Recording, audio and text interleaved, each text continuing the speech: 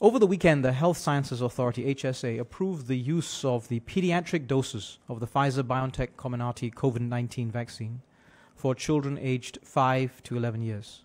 The Expert Committee on COVID 19 Vaccination, EC19V, has also recommended its use for this age group.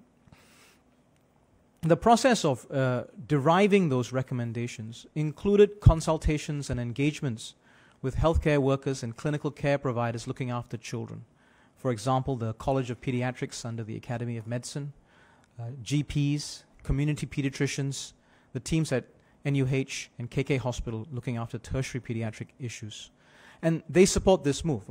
The benefits of vaccination far outweigh the risks of getting COVID 19.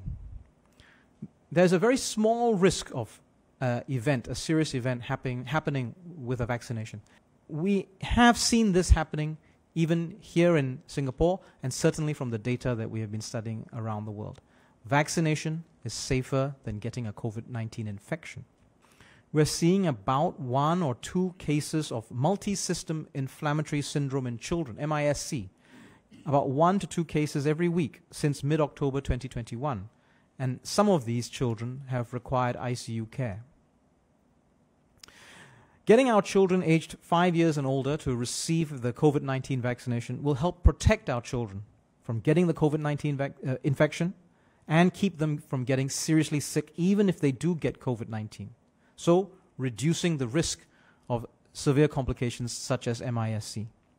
Our children, as you know, will spend a lot of their time in places like schools and preschools. And here, transmission can spread quickly, not just of COVID 19, of any disease as the children interact.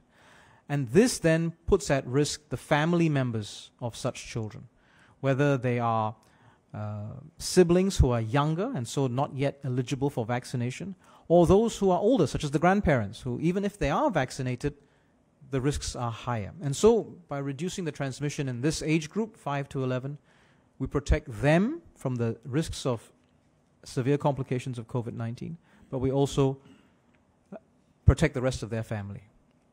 Millions of children around the world have been vaccinated using this Pfizer BioNTech Comirnaty vaccine. Up to 5.5 million children in the US in this age group have received the first dose and 2.6 million have completed two doses as of the 12th of December, with no safety concerns. So it's important that we offer protection to our ch- school children before school activities resume full swing. Vaccination for this group will commence before the end of this year. We need to have our children between the ages of 5 to 11 years old get their vaccination as soon as it's rolled out.